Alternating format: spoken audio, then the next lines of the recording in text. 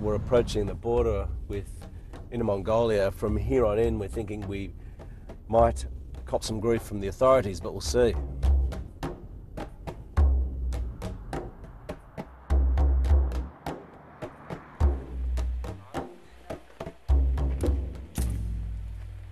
People here traditionally were nomadic herdsmen, but following modernisation and various government programs, that's all gone. This is a proud culture, and it's bound up in language. However, some here now think that that language is being taken away from them. The new uh, renewed attack on the Mongolian language, the recent uh, Chinese uh, central government's decision to implement uh, the replace Mongolian with the Chinese, is the con Mongolians consider this as a cultural genocide. Oh, here we are. The police have pulled aside to have a look at us. They're uh, asking us for our IDs and things. 过来，我问你点事儿。我问他的事儿。不不不，没没有问没有问他，我们是一块儿的。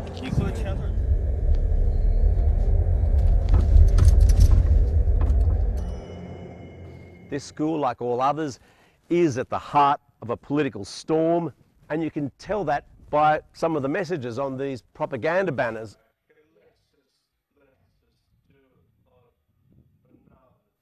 Now, we'd like to speak to the neighbours around the school about this.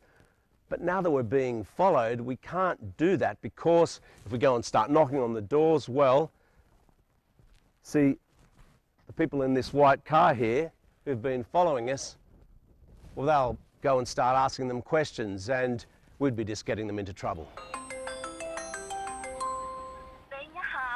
Uh, 喂，你好，我我是那个英国广播公司的麦迪文，Stephen uh, Stephen McDonell。你好，麦老师。哎，你好，你好，你好。你们对那个抗议啊，有有什么想法？什么？你你。喂，你好。哦。现在是不是听？听不。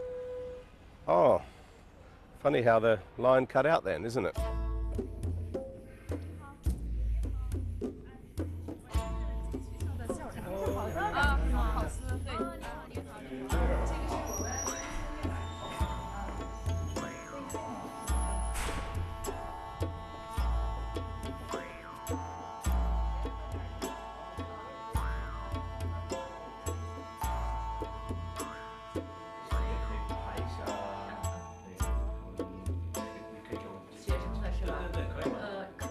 这这个是一个特色，而且是一个很有底蕴的文化嘛，这个必须得好好得传承。